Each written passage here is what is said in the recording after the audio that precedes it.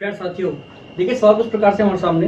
ये कह रहा है कि भैया the age of Anuj father ठीक है is four times his age ठीक है?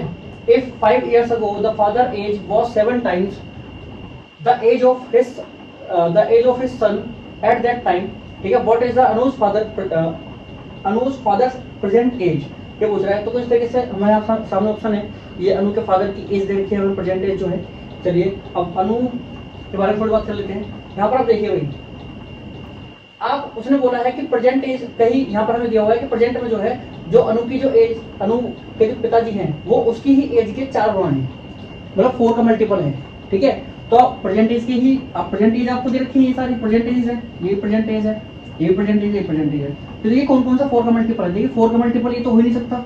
आपका सेवेंटी फोर का मल्टीपल नहीं है, ठीक है? ये टेन ये फोर का मल्टीपल है, कितने टाइम्स टेन टाइम्स टेन में फोर फोर को मल्टीप्लाई करोगे तो आपको मिल जाएगा फोर्टी यानी कि टेन ईयर्स आपकी किसकी एज होगी? यहाँ पर बेटे की एज होगी और ये फोर्टी इसकी। तो इस तरीके से यहाँ पर ट्वेंटी हो जाएगा, ठीक है? तो यहाँ पर हमें पता चल रहा है कि ये दोनों ऑप्शन सही हो सकते हैं, दोनों नहीं है फ़िलहाल लिए सही।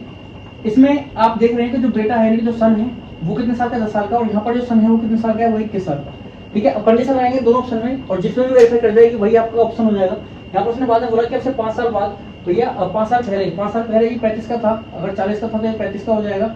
और अगर ये दस का था तो ये पाँच का होगा। चलिए, और फिर पाँच साल पहले की बात हो गई।